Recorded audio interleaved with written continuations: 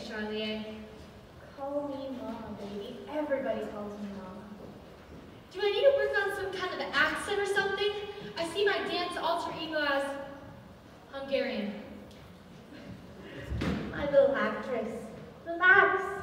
At the Venus of go there's only one thing you need to remember. Anyway, you want it? That's